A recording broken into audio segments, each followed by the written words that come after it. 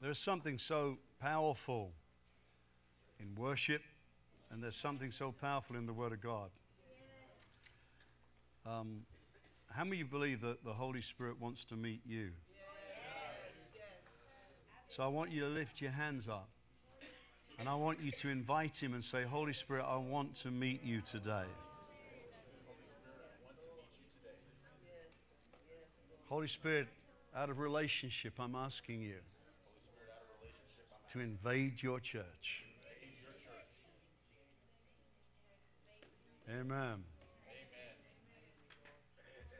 Well, great. Um, I never advertise anything I preach, but I'm actually going to. Uh, if you were here last week, or if you've been here during any prophetic meeting, um, and you missed what we did on Wednesday night to respond to the prophetic, um, we, we put out a message to respond to the prophetic, and it's gone uh, quite viral on uh, Facebook, etc. If you haven't heard it, you might want to. How many of you know if you don't know how to respond when God talks to you, what's the point in talking to you? Yeah? Um, and then yesterday we, we broached the subject of God restoring or renewing the soul. And how many of you know the Bible tells us to, to bring my soul out of prison that I might praise your name? And if we're going to have to be honest, and it's time to be honest, that sometimes things get snared up in our souls. And so we need that, that releasing. And so we taught on that yesterday.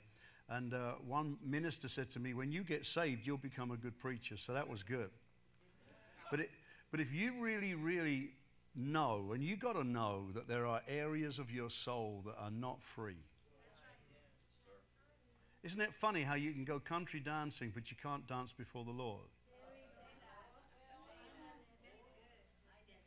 And I would never go country dancing, but I'm just letting you know you'd do it. It's, it's not my favorite music, but, um, but people will, won't you? You watch and go country dancing, but they won't come dancing before the Lord. That means there's something snaring you. It might be religion. All right? Or if you've ever made a vow out of your mouth, I'll never trust another person. How many of you know that you've got a wound? How about this one? I'll never trust another man. I've heard that. There's only one, two people agreeing. Everybody else says, No, I'm absolutely perfected. But honestly, those little things give you a hint there's something not right. Per- perfect love casts out all fear, but yet Christians fear. So, what's, what's there? What's happening? I mean, I don't mean don't fear heights that you go up 3,000 feet and jump off a cliff. I'm not talking about that. But I'm talking about fearing just natural things. So um, we're going to do a lot more of that on Wednesday and actually going to minister to, to people's wounds. Uh, that's if they're honest enough to face them. The Bible actually says, confess your faults to one another and pray for one another you might be healed. No, so if you refuse to do the one, you don't get the second. And you say, well, that sounds Catholic. No, the Catholics might have used that, but that's actually a biblical truth. You know, sometimes God uses men with gifts to set you free. Hands up, all those who are absolutely, totally free. And I'm going to actually use the word liar. Because we're on a journey of freedom, aren't we? So, um, you know, it actually is the first Sunday that I've ministered since I did the prophetic thing at the beginning of the year. And the reason I travel at the beginning of the year is people like the prophetic. Um, but I'm trying to teach people it's not hearing God speak, it's knowing how to respond to Him speak. Have you ever been there where someone prophesies and other people clap? How does God need a clap? That'd be like you as a father saying, Son, son, I want you. Oh! I don't think you'd like that. I think you'd like the obedience to what was said. How many of you know that God knows a lot more about you than you do? And how many of you know in Jeremiah 29 11 it says that God literally says, He's, I've got some plans for you. I got plans to prosper you, to bless you. Here's the problem how do I get my plan from my heart into your heart? And that's how he uses the prophetic and dreams, etc., etc., so he can reach your heart. But today I want to talk about a very strange thing for a few minutes. Um, I've learned not to try and follow up something like last week. You know, you, you say, well, are you going to prophesy this week? I might. But sometimes God says something that is different. For instance, how many of you know that, that a lot of people in here have seating that they, they always take? It's a reserved seat. Now, I never allow anyone to put reserved on my seat. I don't want to be reserved, all right? So in our church, you use designated, but that's, that's, that's the position that you want to sit in. You position yourselves in that seat. But how you position yourselves in that seat is what happens when you're in that seat. And you know, it's a very interesting word because I'm going to talk about the, the, the positioning of Christians. And it's very interesting because you don't see that word much in the King James. The reason you don't see the word in the King James because it didn't exist in those days. So if you, you read modern versions, the word position or positioning is used a lot more. Actually, the NIV uses it a few times in the New Testament. The positioning uh, where we are, our, our, position in Christ. In fact, it takes, it takes Esther 4.14 and it says, don't you know that you've come to a royal position for such a time as this? So when I talk about your position, it literally means your stance or stance but I'm trying to teach you correct English, but I'm not winning. But your stance, it also means your position. But it also means how you position yourself. And it's very interesting. If I were to quote scriptures all morning and tell you who you are and what you are, it doesn't mean a thing unless you think you are. That's why he said to her, Don't you know that you've come to a royal position for such a time as this? Uh, the, the, original version, don't you know that you come to the kingdom for such a time as this? I like that, and I like, I like both of them because it means that there's a timing in God that God had for you to be born. And there was a time that only you could be you on this earth, and only you could do what you could do in the kingdom. And you might say, Well, I don't do a lot, but you don't realize who you are, so that's why you don't think you do anything. So I'm going to talk about four different places of positioning. I'm going to talk about, first of all, the positioning of relationship. You know, you can be born again but have no relationship. You can attend church and have no relationship. Hey, you can get married and have no relationship. And your relationship is everything. And how you act in God is how you're positioned in God. Uh, how many of you know that we're, we're heading for Super Bowl? Now, to one or two people, now the Dallas Cowboys are out, there is no Super Bowl. But there still is for other people. And a lot of people will set their affections on that game. Everything will be about that one game. And some people have just given up watching at all since Dallas lost. So your affections aren't on the game, your affections are on Dallas. And then we've got others who've got affections on certain people preaching. Well, who's preaching? Oh, it's him. And I've had that said, said about me. I, I, I, preached alongside quite a famous preacher, and I'd just come into the country, and someone said, When's the real preacher preaching about me? Not mean I was the real preacher, the other guy was. And, uh, you know, one of the clever bod elders wanted to tell me that. I should have given him external healing and inner healing all at once, and a deliverance from what I wanted to do to him. How many of you know you can have affection on certain worship leaders? But you see, in Christ, that's nothing. That's just preference.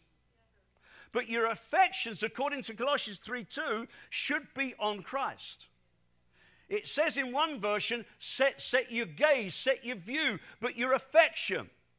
And you know, if you ever lose your affection in a marriage, it will change the relationship of a marriage. But when you're a Christian, your affection should go toward the Lord. That's how you can tell you're born again.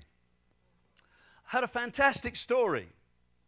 After I was prophesied about London, uh, I love prophecy because God's revealing something to you that you haven't known yet or is about, or you do know, and He's confirming it. And He gave me this prophecy about London. Well, that's good for me. I want to go home. Yeah, yeah. Because I miss home. So when he said that, I thought, ooh. And then I thought to myself, I know a lot of people in London, but who do I know with the mantle he's talking about? And suddenly I got led, because we do, I, I, don't tell you everything because I don't want it to come over wrong, but we support a lot of people. We support a lot of older ministers. Uh, we send money to missions, we send money to orphans, etc. And, and whenever we get blessed, I always take a section of it to, to bless some older ministries. I can tell you one of them. One of them is Paul Doherty, another one is Colin Carson, and another one is this guy called Michael Bassett. And I didn't realize as I was blessing Michael who he was. He used to be, uh, it's all right for me to tell you this because he's testified around the world, but before he was saved, he ran all the pornography rings. He ran them in Soho in London, he ran them in LA. Um, he used to live with some very famous people that act. Of that life, Jesus appeared to him saved him on the spot, and turned him around. He then goes back into London because he said, I, I want to just visit and talk to the people in the pornography rings what Jesus did for me. And so he goes back and he tells them, and they all come out to listen to him preach. See, you would have said they're finished, but they're sinners. As a result of that, he starts the church. He said, I don't know, I didn't know what I was doing. I'd never been trained to minister. I just started ministering. And it became the biggest church in Europe.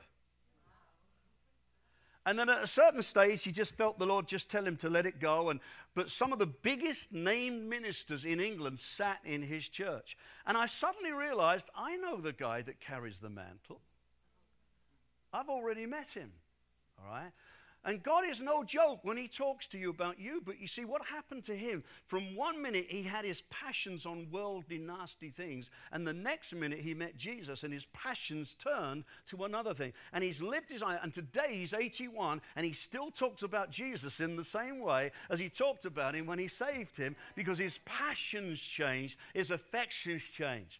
And our positioning as Christians is that we need to have a relationship that is affectionate toward the Lord. Our affection should be toward Him. And if, and if, they're not toward him, you need to be able to look and honestly say, maybe my positioning is wrong. Maybe I prefer sport. Maybe I prefer to watch movies. My affection is not toward where it should be. Because relationship starts with something of desire for affection. But secondly, out of any affection that goes anywhere, and we're trying to talk within the realm, obviously, of, of purity, but affection turns into intimacy. That's why the Song of Solomon is so powerful. Let him kiss me with the kisses of his mouth. Your love is more delightful than wine. Let him do it. Now he's done it. Now it's you.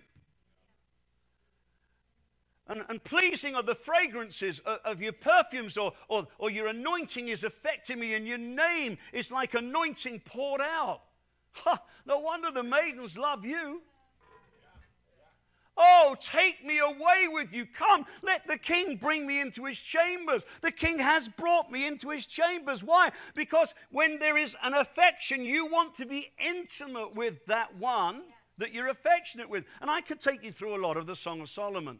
But here's the bottom line is you you should have a, an intimacy with the one who saved you.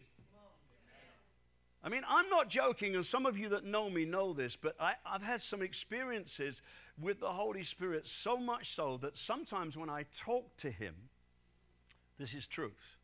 Sometimes when I talk to Him, He, he will so fill the car, you don't know what to do with yourself. And sometimes when I address him when I'm preaching, he'll fill an atmosphere of a church. That's a relationship. That's an intimacy. That's a friendship. You see, you can say I'm a believer, but a believer is not someone who is intimate. That's just someone who believes. But someone that has a relationship has positioned themselves to have a relationship of intimacy. Now, you've got this, you've got the affection, you've got the intimacy, but then there's the walk. Uh, some of you know that Th- this year we are actually um, planning to be married 50 years. On, on, on, March the 17th, I've never forgotten our anniversary. I need to explain why. I'm Irish. And Irish people, March the 17th is easy to remember. And I knew I was in trouble because my wife came in, and I, I used to work in a pub, you know, uh, uh and used to say in London, a rubber dub. I used to work in a pub, and I got saved, and it took me a while to transition out of certain things. And she came to me in the pub, and she said, I found a date for our marriage. I said, When is it? And she said to me, March the 17th. I said, No, no, no, no, no, no, no. No, no, no, no. You don't, you don't touch an Irishman on March the 17th. And then she said to me, I knew trouble was coming. She went, just like that. And she said, If you don't marry on March the 17th, you don't marry.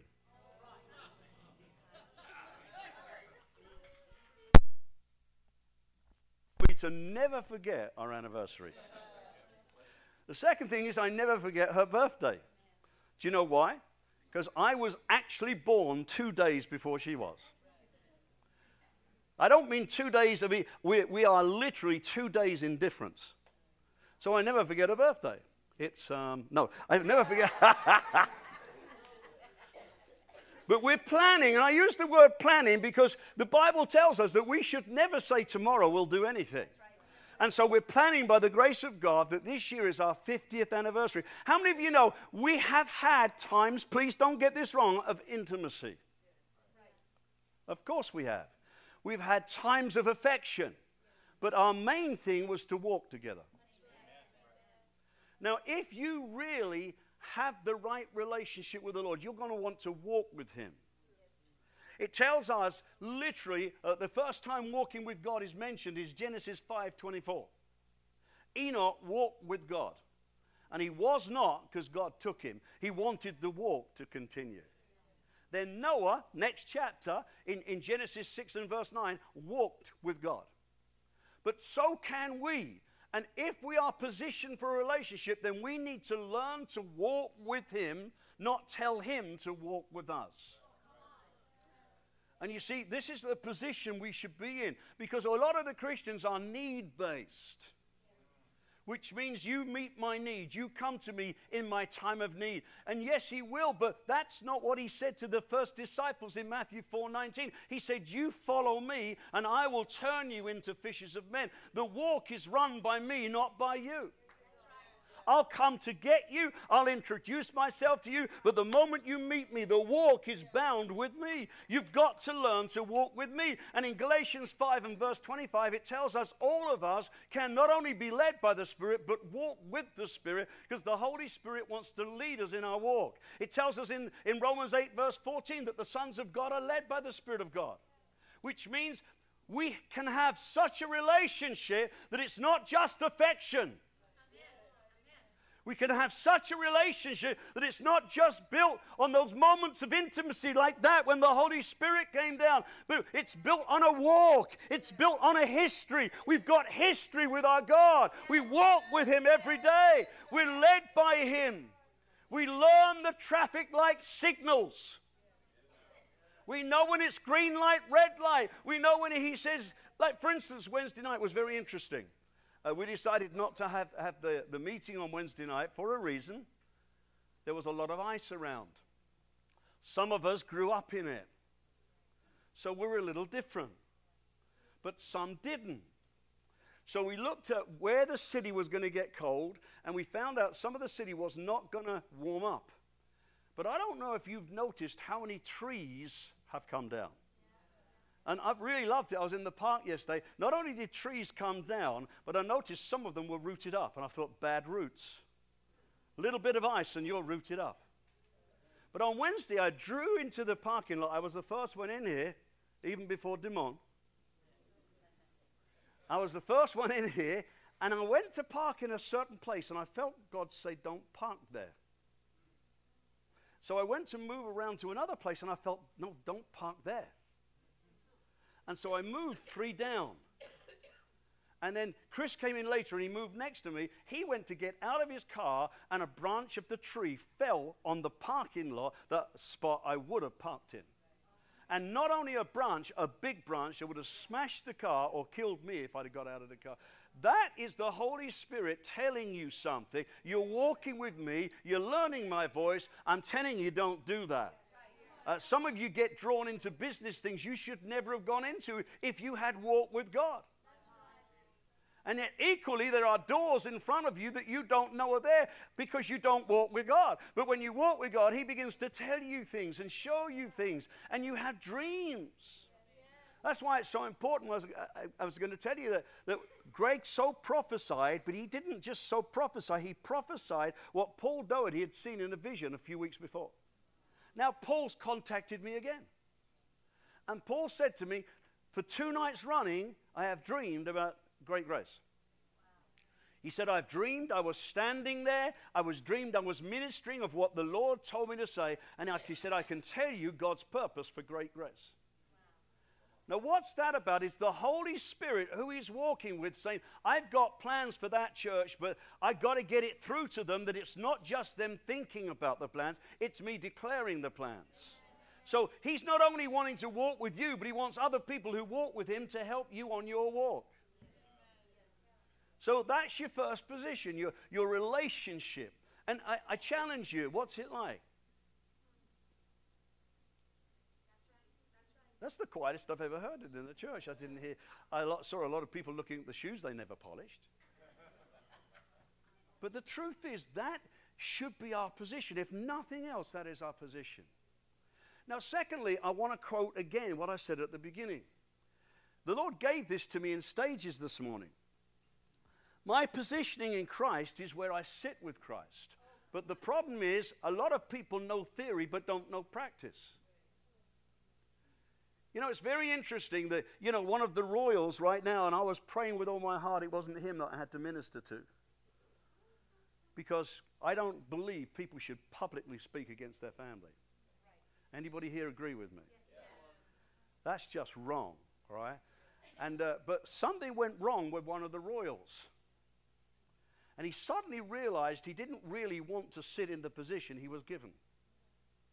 So he's chosen to abscond from his position. It happened before, of course. One of the kings, who was known as the Duke of Windsor, decided because he, he, he fell in love with an American called Mrs. Simpson. And, and uh, she hadn't just been married once, she'd been married three times. And so, because he was the head of the Church of England, he could not, in those days, marry a divorced woman and stay the head of the Church of England. So he made his choice to give up his royal position. And he spent the rest of his life actually in misery. Because, because when he came to America, America doesn't understand royalty because they don't have royalty. And so suddenly, that which he was given, he was no longer walking in.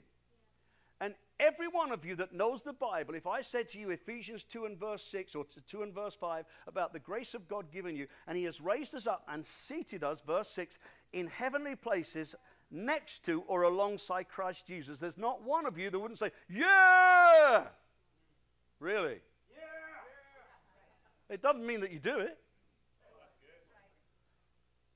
How many of you loved chemistry at school?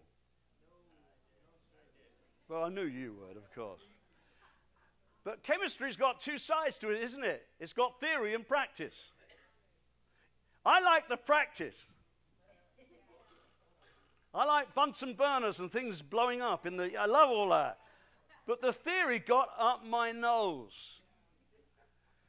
You know, you watch this, you know, and sometimes teachers forget that they know it and you don't. They're supposed to get you there. It's like fractions. I know some clever person who say, will say, oh, I understand fractions. Well, good for you. What a waste of time. Right? But you got to get your theory to pass your exam. How many of you know in America, before you can be a pass a driving test, you need theory? And then after theory, if you can't pass your theory, you, you can't take the driving test. It's no point in taking the driving test if you don't know the theory. And the theory is you're seated with him in heavenly places. That's the theory. But it's like when I passed the, my driving test in England, which is totally different driving than here. All right? It's totally different driving. You have to know the width of your car. You have to be able to start a car uh, with, with a stick shift up a hill without going backwards. You have to do a three point turn in an area as big as this. It's all sorts of things they make you do. When I passed my test, I felt like victory. Some people never pass that test. And, and one man, the man said to me when I passed my test, he said, You passed your test. Well done. Now learn to drive. And you can sit there and say, in theory, I'm seated in heavenly places. I'm nothing but royalty, in theory. But if we don't learn to position ourselves in practice where we know we are in theory, then it's only a theory.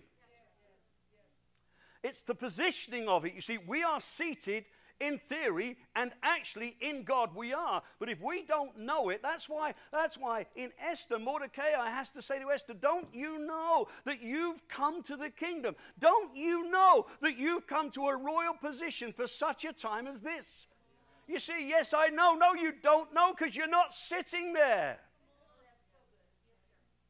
You're still sitting as a pauper. You're still sitting with a cultural view. How many of you know if you've really transferred into the kingdom, you happen to live in America? That doesn't make you an American Christian. It makes you a Christian who lives in America. Don't take American Christianity and stamp it on the kingdom. Stamp the kingdom on American Christianity and we'll turn America back.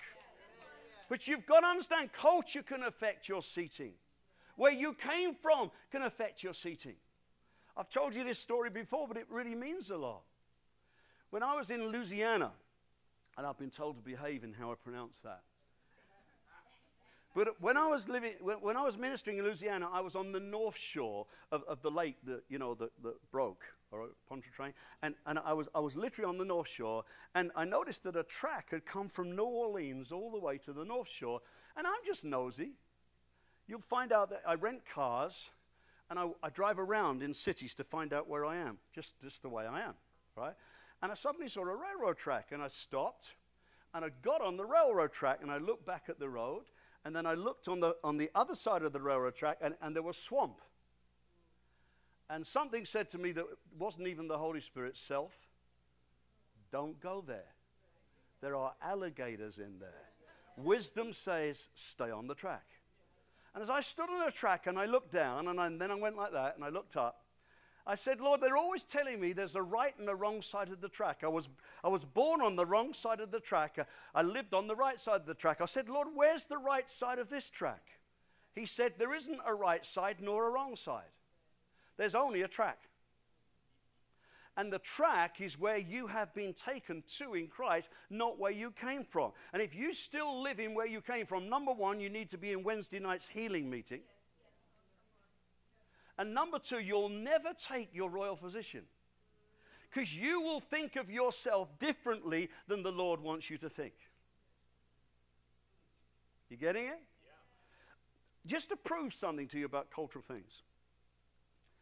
Um, it's not always been fun being over here with a different accent. No, it hasn't.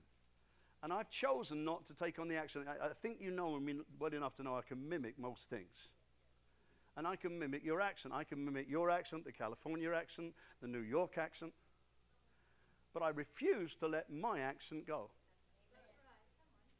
Why? Because it's mine. Belongs to me. You. But we did a meeting. I'd only been here three months, only in the country, three months. And I did a meeting on, on unity, and I told the people that if they had anybody that they had something wrong with, that they needed to just go put it right. I did not know that the line that was the longest would be mine. I was told all sorts of things. And as I was having all these people come up to me, one person said to me, I hate British people. I went, oh. Yo, lo, lo siento. no entiendo. And so I suddenly found out that there are people who have got issues and are Christians with other Christians, and so are not sitting where they should be sitting because they've got issues that they won't deal with.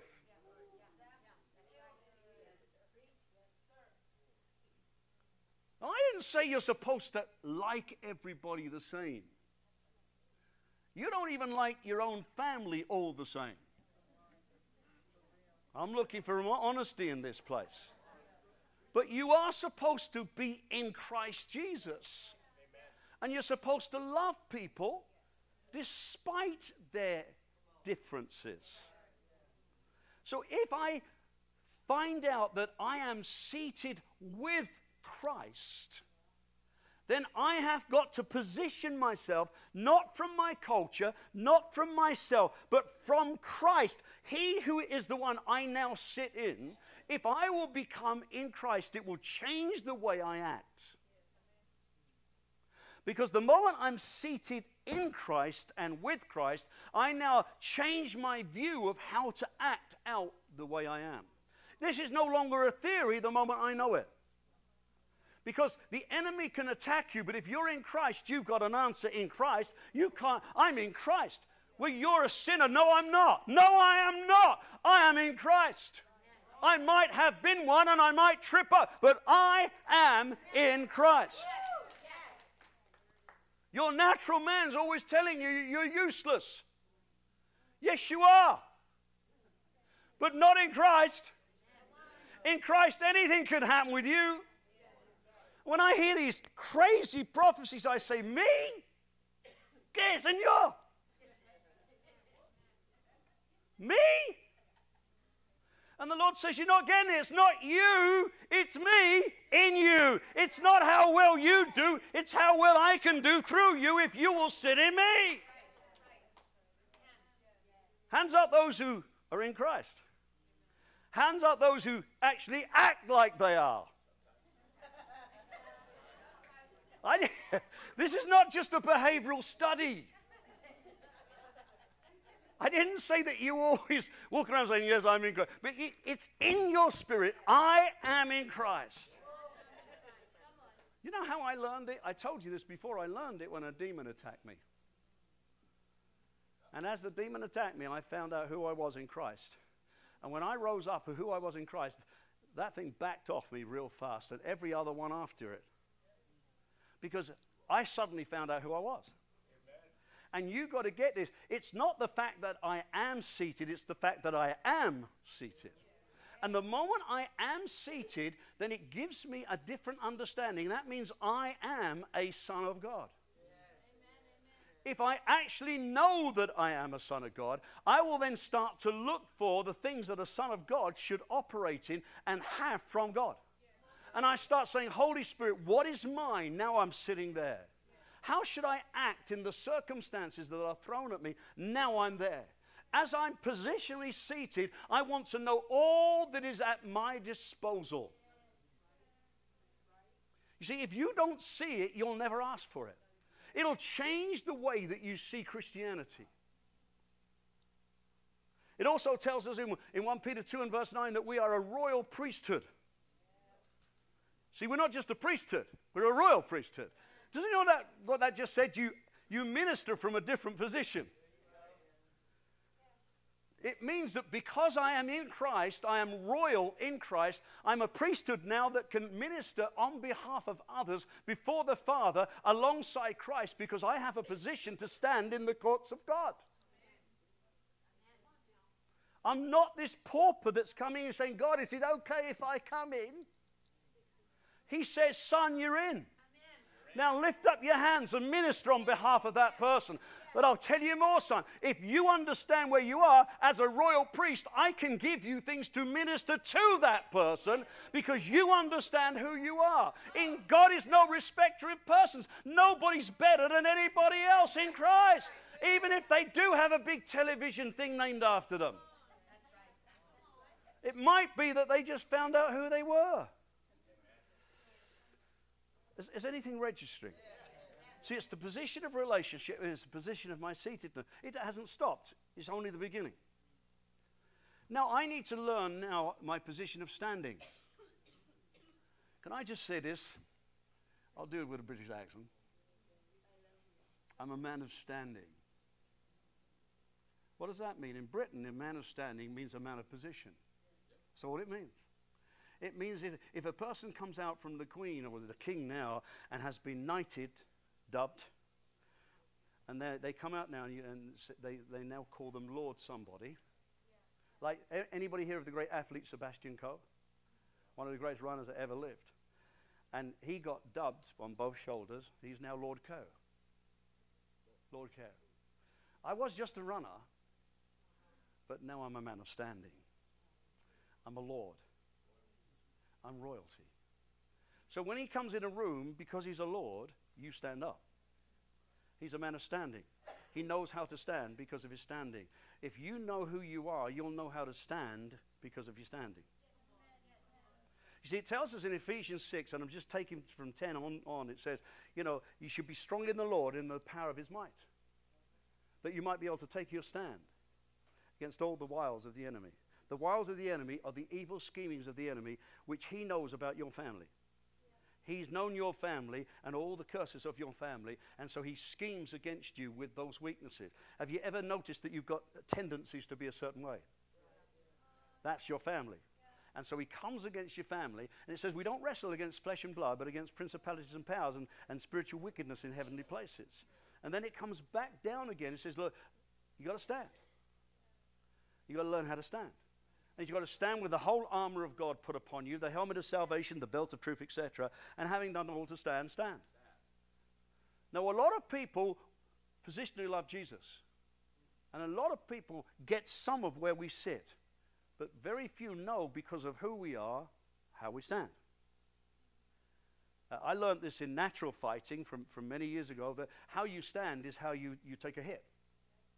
You know, the best thing, there were two very famous people called the Kray brothers, the, the and, and they knew how to punch people and, and, and break their jaws. You know what they did? They offered them a cigarette. As the guy took the cigarette, opened his mouth, the moment the jaw was open, breaks his jaw. Just knew how to do it, see? So anyone that understood that wouldn't take the cigarette. But if you learn anything about anything about fighting, and it's a long time ago, there were certain things that you learned. Like, you know, when big guys set themselves up against you, like Dustin's always pretending he's so big, see? And when they set this, all you do is you learn to come back and stand. And it's how you stand is how you rock and how you move and how you react. For instance, if you stand right, and you stand right, and it's got to be right, you hit me on that knee, this one will take it. If you hit me on that knee, this one will take it. But if you stand wrong like that, you are dead. You know, if you notice big people say, yeah, and they stand like that. Easy pickings. There are parts of men that should not be mentioned. Don't stand like that. Secondly, if you stand wrong, all I got to go is one like that and break your kneecap. All right? The enemy knows how to break your kneecap. Unless you know positionally how to stand. Be strong in the Lord. How's your relationship now, my friends? Now the storm is coming. Not how are you dancing at the front? How is your relationship now? The storm is coming. How is your relationship when every odd turns against you and even your own family might do it? How are you standing now?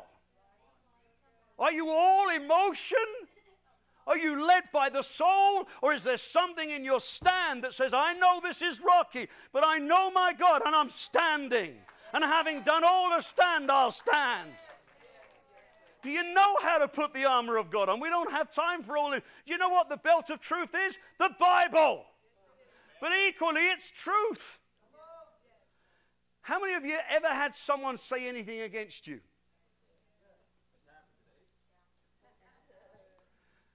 And you have to say to the person who listened, Who told you that? And they'll say, So and so did, but have you ever asked me the truth? No, I'd rather listen to gossip and judge you and take myself out of where I stand. But we need to be able to know truth, stand in truth, and speak truth. And sometimes when you're in a hard time because we stand because the enemy's coming against us, it doesn't say now you're in Christ, you're going to get left alone. In fact, I'm going to give you a terrible hint. I said, No, I won't look at you. The further you go, the more you're attacked. The enemy can only attack what he thinks you don't know. But when you do know what you know, then you will use what you know, which is the truth, back. That's why when the enemy came after Jesus, he kept saying, It is written, it is written, it is written. You can't talk to me like that. It is written. I know the truth. You're twisting the truth. But boy, what a place, the belt of truth. Breastplate of righteousness. It means, Are you right with God? Are you right with you? Hey, did I just say something? let's try that again. Are you right with God? Oh, yes. Are you right with you? Ooh. Because if I'm not right with me, I'll join in the enemy against me. Here it goes, here it goes. Are you right with the person next to you? Well, then there's no breastplate, there's no defense. Your heart is open to be shot. You got to learn how to stand. You got to get the helmet of salvation. Your greatest problem and my greatest problem is called stinking thinking. It's called being confirmed to the spirit of this age. It's thinking like the TV tells you to rather than thinking like the Word tells you to. Man, you're making me work hard. I hope there's some lunch. The reason I'm working is, is this so. Do you understand we can have all the movements and the Spirit of God everywhere, and you can't stand? But if you can stand, you're a testimony to the Lord Jesus Christ. All right? Sword of the Spirit. Do you know how to use the Word of God? Not against each other. How many people have used the Word of God to put someone else down? That's not where you're standing. You're standing with the sword of the Word of God against the enemy. And what about this shield of faith? Do you can't hit me, mate. By the time I talk to you about the Romans, I'd even tell you why the British drive on the other side of the road, not the wrong side of the road.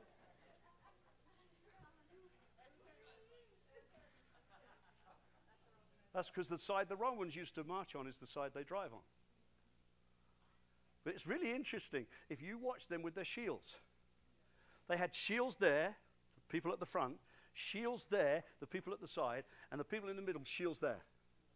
And no arrow could get through the shields because they knew how to use their shield.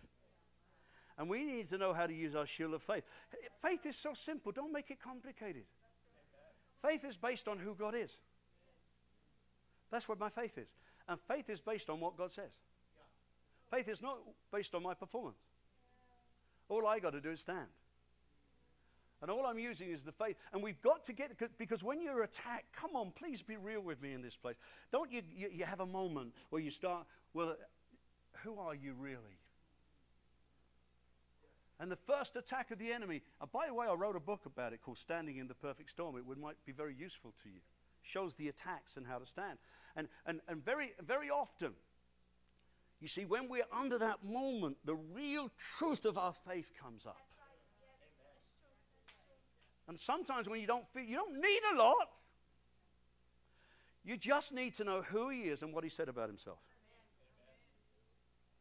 But it grows as you walk through these fights.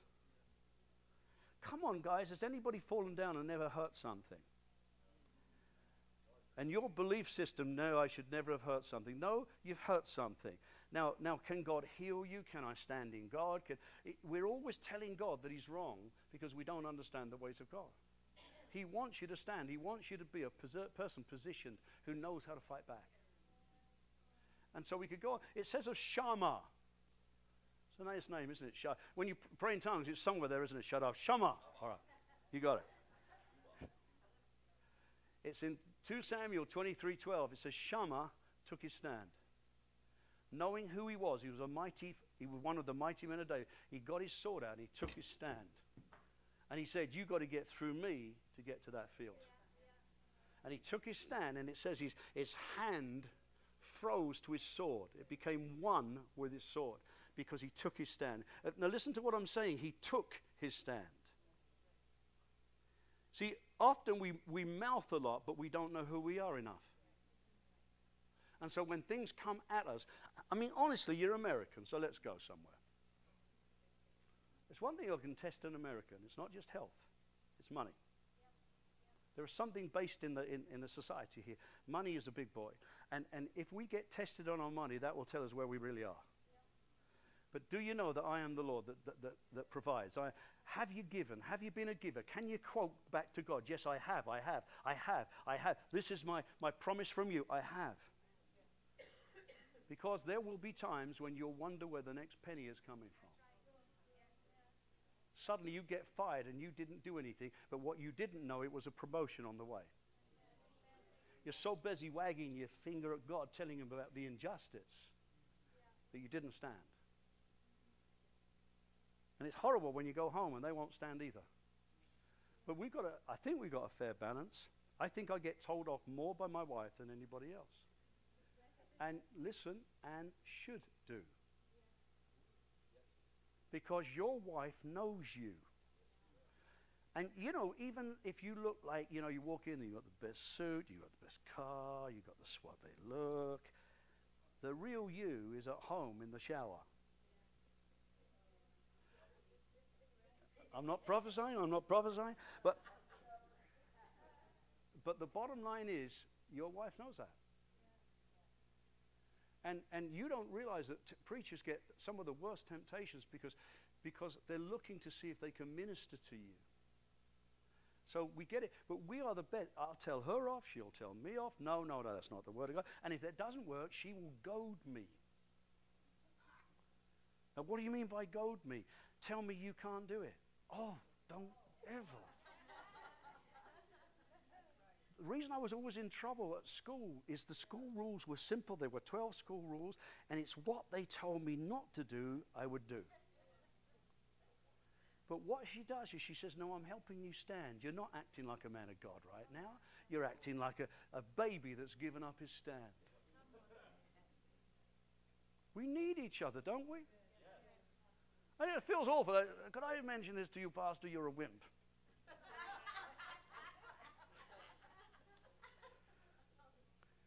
or if you from Yorkshire, you're a great wimp. You're acting like a great wimp. That's Smith Wigglesworth talk like that. But sometimes we need that to help us stand. You've got to make a choice. He took his stand. Whatever you're facing, you've got a position you can take. I am in royalty. I sit with Christ even if I don't feel like it. I'm in relationship with the Holy Spirit. I know I am. And it's not based on my failures, it's based on His success. I say, therefore, there are times to, I must take my stand. Last position, and it's really important. A real person of Christ is a longing person.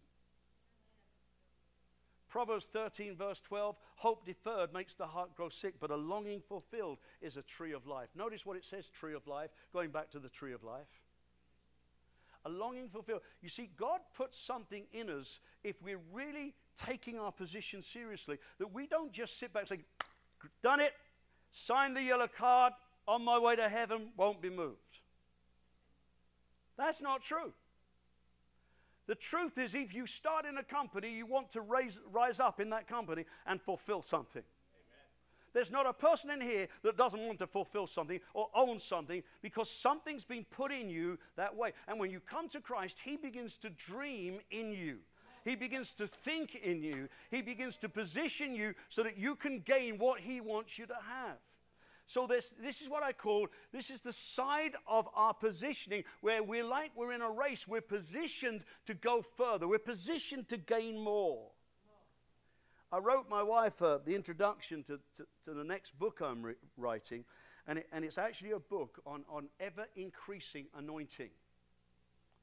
And I'm about to prove to you that, that what you received at the beginning is not what you're supposed to have. That God wants to take you further in the anointing. And Christy said, But a lot of people won't want to read it. I said, Yeah, a lot of people don't want to eat at Taco Bell either. You get what I'm saying? I'm not after the ones that are not interested. I'm after the ones that are interested. It, it, might be a select crowd, it might just be a few people, but it's a few people who actually understand why they got saved. What's the point of you living and dying and positionally having nothing in God and going to heaven? Him say, what, what was that for? So there's something being put in all of you. I'm going to do this quickly. So there's a, there's a, there's a chase in us. There really is a chase in us. And so sometimes it's need orientated. What is that? The woman with the issue of blood, she has a need. The need makes her go to press in to get something to change. And you might need to have a need to change you from where you are to get this longing that goes after something more in God. You know, you know, even if you're passive, your kids walk away from God, your passivity stops. If your husband goes off the deep end, you want to go in the deep end and get him back out. Why? Because your passivity stops. Because something is need orientated. If, if there's no money, you change. Suddenly your prayer, your prayer goes, Oh my God, this is not how we should be. Even the passive ones of you are now making a noise. You're at the Super Bowl in God. and people always saying, There's something wrong with you, Dennis. You're always wanting more. Because He wants me to have more. Listen to what he says in John 4 This that I will give you will well up, well up within you into eternal life. It keeps flowing and going. I put knowledge in you, I put desire in you, I put thirst in you. Oh, that's my second point. Oh my God, I thirst for you. My body longs for you in a dry and barren land where there is no water, San Antonio. Who put that thirst in him? He didn't just wake up one morning and say, Oh, I feel thirsty. No, God stirred him to long to meet God more, to know Him. more. Is there anyone here that worship that doesn't want to know Him more? There is something being put in you, whether it's need orientated or thirst orientated, that makes you want more. I get jealous when anybody's got anything I haven't got. Really? I'm not talking about houses and cars. I'm talking about what something's got something I haven't got. How do you get that?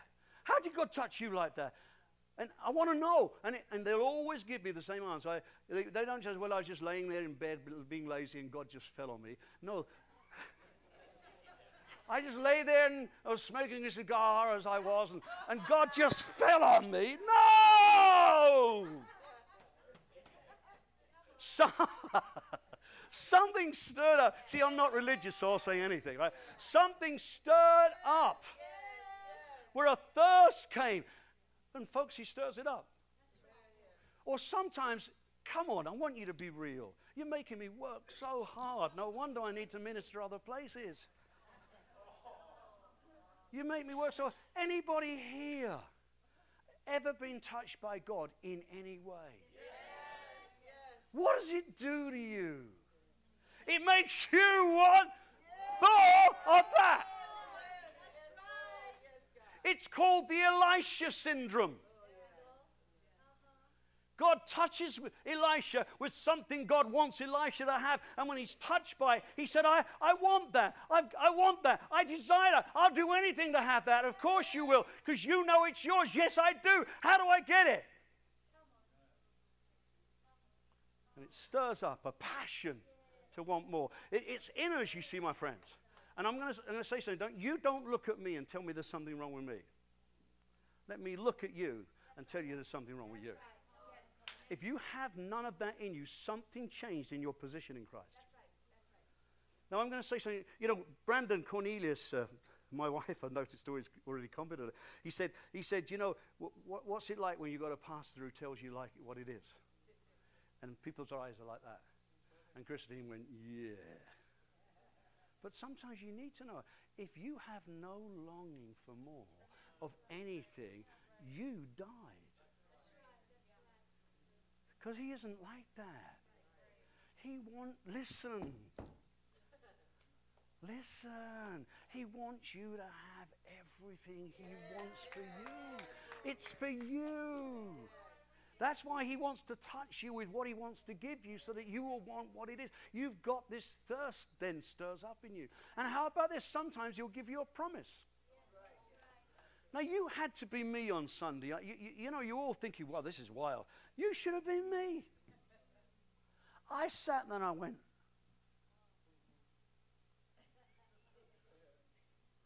And I've told you there's a, there's a word in England, it's only in England that they use it, it's called gobsmacked. It's like, that wasn't as bad as it sounded. But now I need to turn the other cheek because someone hit me on one cheek. So, gobsmacked is where you go, Are you talking to me? And, and at first I went home, and Christine said, I don't know. I, I don't know about that. She even said to me, I don't know about that. And then I re listened to that. And when I re listened, I caught that. And God, by promise, said to me, I want to give you what I told you I wanted to give you years ago. And Caleb, 45 years. And, and what God does is He drops promises in dreams or prophecies. I love prophecy. You should be excited about the stuff. If God says something to you, I had a word for him the other day. It was minimal, but it was powerful. I said, You're going to like this one. And you see, you've got to catch this because God is dropping His thoughts into you about you. He wants to show you an area of your future you haven't seen. And so, what He does is He stirs you by the prophetic. Don't play this, well, let's just leave it on the shelf and see what will happen. No, following then. 1 Timothy 1.18, you follow it. What does it say?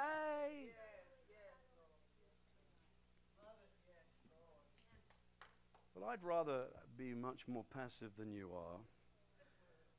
I call it dead, I don't call it passive. How can you be alive for everything else but the things of God when the things of God are eternal life? You don't have a, an occasional shout. I mean, you know, the Bible tells us that we should go into our closet. Where's your closet now? Mainly the car. Now, you shout when people cut you up.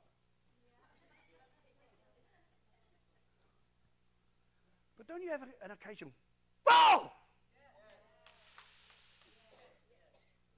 Do you don't do that? No? I, I need to know is anybody here alive? Don't you think about something God said, that's good. I was reading David versus Saul this. Oh, that's good. David's a nobody, just like we were. And God touches David and gives him royalty, and everybody knows his name because he got touched by God. Let me tell you, he never stopped because of promises. Promise. He, I, I read this this week. Who am I, Lord? Who am I that you should take my family? Who am I? Just someone who gave yourself to me. That's who you are. God is no respecter of persons. So I'm coming to an end because some of you are panting with desperation. But you know, we could just go on with so many illustrations of. Paul's got one. He said, "Look, I, I, I, was, I love God. I, I just everything was to know Him, to know Him, and then suddenly He took hold of me, and He wouldn't let me go until I went after, stretching out, racing out for all that He had and my prophetic gift will do one thing. If I don't even prophesy, I can prophesy into the air. That the, that the, that the longing for God, the passion for God will wake up in your soul. But my favorite one, and this is the last one, is Jabez. Now think this one through. 1 Chronicles 4 9 and 10. It says Jabez was called Jabez because his mother birthed him in pain. This is the most illogical statement I've read in the Bible. His mother birthed him in pain. Ladies? How many of you just went, Oh, I think I'm about to give birth to a child? Pop. Anyone just go, you know, hello, there you are, I didn't feel a thing. Most of you, uh, like you are with your kids, ladies, because in pain, not only did you carry them, but in pain, you birthed them. That's why, men, whatever we feel about our kids, we could never do what the ladies can do because of what they went through. It's just true. So, what on earth is a mother cursing her son for? I birthed you in pain, you pain! It's like this is the most illogical statement I've ever read. So he grows up being cursed with being a pain. Can you imagine that every day? You pain. You go and meet your friends for coffee. Hey, pain, how's your pain? Had a painful day? It wouldn't be long because I'm telling you, I know this because I was born and called Dennis in England when nobody was called Dennis in England.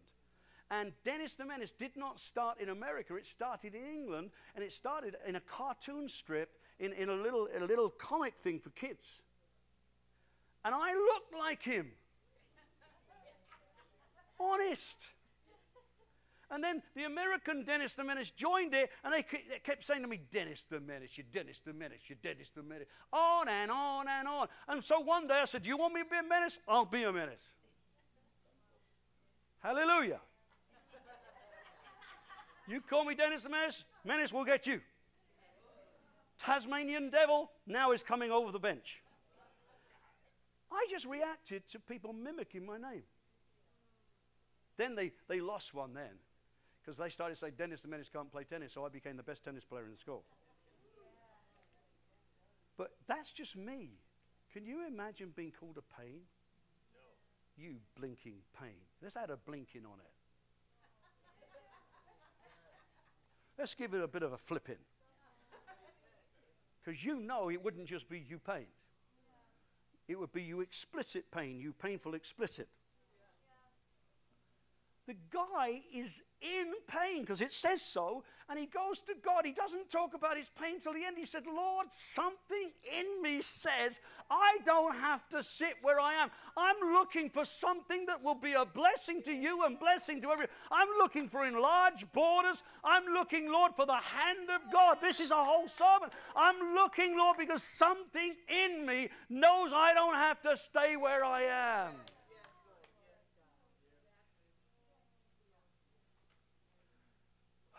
I hope it's Indian curry you bought. Golly, guys. See, that is part of our position. If you've lost that, you've lost touch of the Spirit of God. Because the Spirit will dream in you. He wants you to increase in two things. He wants you to increase in the knowledge of God. 2 Peter 1, 3 and 4, 2 Peter 3, 18. And he wants you to increase in your measure, Ephesians 3, 19 and 20. He wants you to flow more in the measure of God. Can you imagine if you knew God better? Can you imagine if you increased in the measure of God and your knowledge and the weight that you carried? Because God wants that, so He puts that positioning. But you've got to want to get in your own race. If you, won't, if you don't want to get in your own race, get, get rid of your come by kumbaya attitude. Well, what we do is we, we pay you to go and get hold of God so you can bring the anointing in and drop it on us. But if it drops on you, it'll be like water off a duck's back. Because there's no longing. But when the longing comes, the position change. I'm ready to go further. And I just want to say something as I close. Don't let your history dictate your future. That's what we all do. I'm telling you, God wants to take you into a knowledge when a longing becomes fulfilled. Stop talking about hope pushed away always makes me sick. That's all we talk about. Instead of saying, I don't know how, but I will not stay, take away from my royal position to ask you to give me. So I'm going to finish it prophetically. I know, because I know. That sounds very, very prideful. It's not. I know because of my gift that the Lord has told me He's about to remantle churches.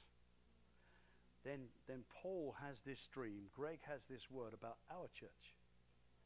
and the weight that we have had. I know He's going to remantle, which means He's going to change the destiny of the way the church operates. But I also know He's going to give it to people. Now, this is the age of patriarchs. It means not just young people. The, the, way the world thinks is chuck the old out, let's bring in the new. But God is restoring patriarchs, which means older people in God that have waited and prayed and stood are going to be touched by something that this generation wants. And this is the generation of grandparents. All right? Now, I'm prophesying to you, God wants to do that in this church. He wants to do that with me. I keep hearing it. He wants to do it with you. But you've got to see where you are in your position. Amen. So I'm just going to challenge you. Do you want, number one, more in God? Yes. I want hands. I don't just want mouths, hands. Do you, do you want that your relationship with Him would increase? I want you, I'm going to do this in four stages. I want you to say to the Lord, I want my relationship to increase. Spirit of God, move me. Secondly, how many of you want to know that you know that you know that you know that you know that you're seated in heavenly places? That you know that you know that you know that you're in the kingdom for such a time as this?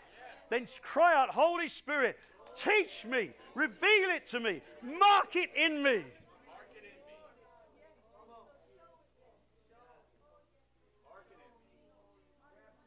How many of you are in circumstances where you just wish you weren't in? And honestly, you're taking a wobbly in the middle of it. And you cry out, Holy Spirit, you're working in me. You've begun the good work in me. I'm asking you to teach me how to stand, and having done all to stand. I'm asking you to give me the words to stand with and the prophecies that I need. I'm asking you for the dreams to come up in me and overcome this that has come against me. Come on, pray it.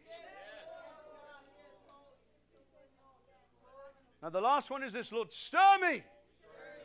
Stir me, Lord, toward a longing fulfilled. Dream in me, my God. Speak to me, my God. Oh, God.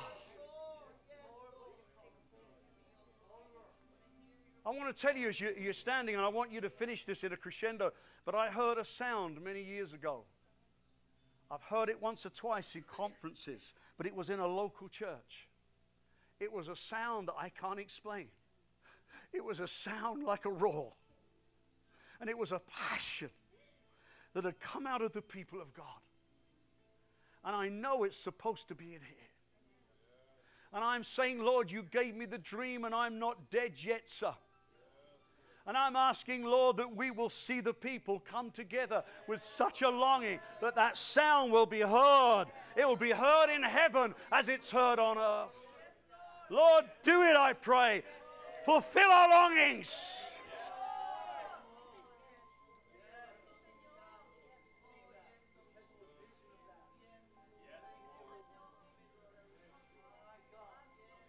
Does anybody need to put their hand on their heart and say, Lord, I'm not where I should be?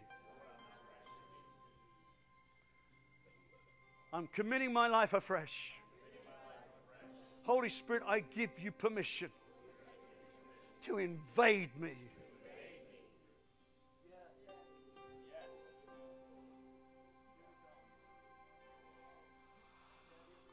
Oh, Holy Spirit, fall in this place. This is me. Oh, Holy Spirit, fall in this place. Oh, fall on every person in this place.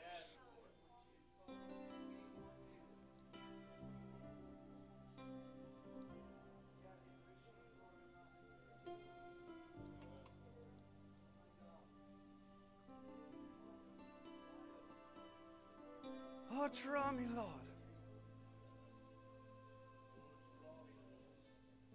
Come on.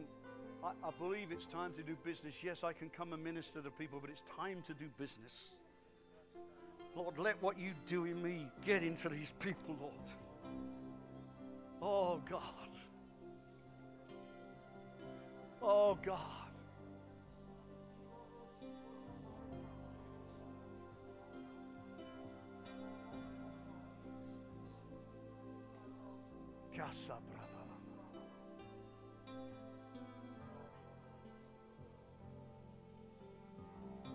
Honestly, I believe the Holy Spirit's in the place. I could prophesy. Actually, I've seen, I've seen some things.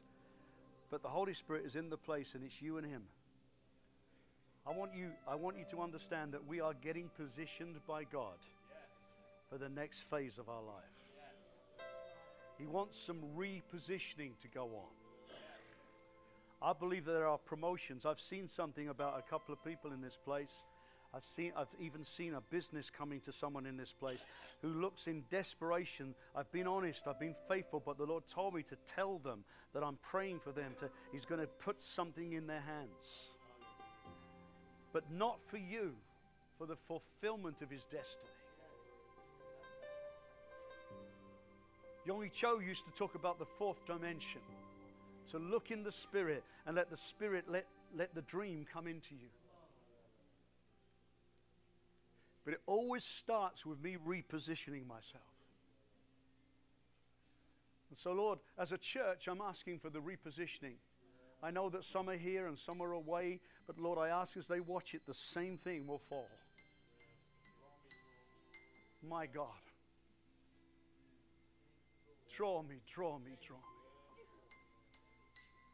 Draw this church, draw the ones watching. Draw us into the place, Lord, where we are positioned. Listen to me, guys, where we are positioned for what God is about to do next. It would be horrible to not be positioned.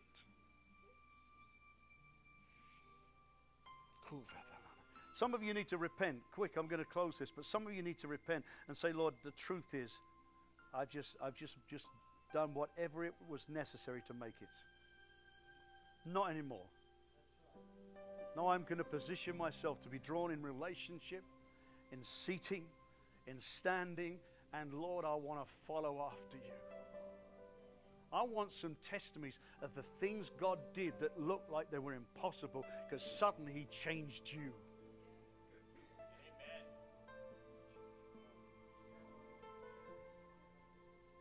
Amen. Mm.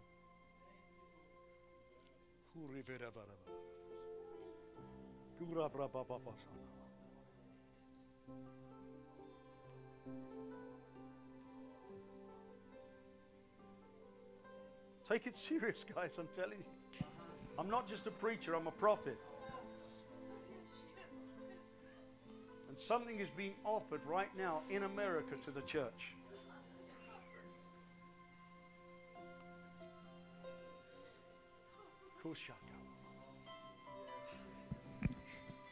Amen. Come on, everybody on your feet, everybody, if you can. Here's how we're going to respond to this. Some of you know this was a Romans 111 moment. What is that, Chris? That's where Paul said, I want to come among you to impart something among you. And I believe that Dennis imparted something in our spirit, man, today. How many of y'all feel pregnant today? No, just me? Okay, well, maybe it's just me. When the word of the Lord comes to you, it puts something in your spirit, it impregnates you. You get full of something. And I believe that's what happened this morning in the house. This is a moment of destiny, guys. I'm telling you. And, and I'm, I'm with Dennis. Take it seriously. But here's how we're going to respond we're going to have a yes and amen on our lips this morning. In other words, we're going to connect our mouth with the word of the Lord. There's going to be agreement in the atmosphere. Come on, all over the house, begin to say it. Yes and amen. Yes and amen. Yes and amen this morning to the word of the Lord in our midst, to being remantled for a new season. Yes and amen. New beginnings in my life. Yes and amen. Yes and amen to destiny coming. My history being wiped out, but fresh future in my life. Yes and amen. Come on. Thank you, Lord. You got it? No, I mean, really, do you got it this morning? I'm telling Dennis is right. You could prophesy over people all through the house this morning. But unless we get it, what good is a prophecy? Right? Come on. Yes and amen. Thank you, Lord. Lord, in this house, we stand as a unit this morning and we have a yes and amen on our lips today. Lord, I can't speak for everybody else, but I want to say yes and amen to a fresh remantling for the season you have for us. Thank you, Lord. And I'm telling you, some of the words of men that have been on your back, they're coming off your back in this season. Where they've kept you bound with things. I'm telling you, they're coming off your back this season. Come on, for you to fulfill what God's called you to fulfill. Amen? Amen. Bless you guys today. If you need prayer, we will have ministry teams, altar teams up here today. But listen, don't go out till you get the word of the Lord in your heart this morning. Amen. Bless you guys today. Love on one another as you go. Let this be a moment of destiny in your life today. Thank you for joining us online this morning. We bless you guys. Have an amazing Sunday. Get the word of the Lord. I love it. Good stuff.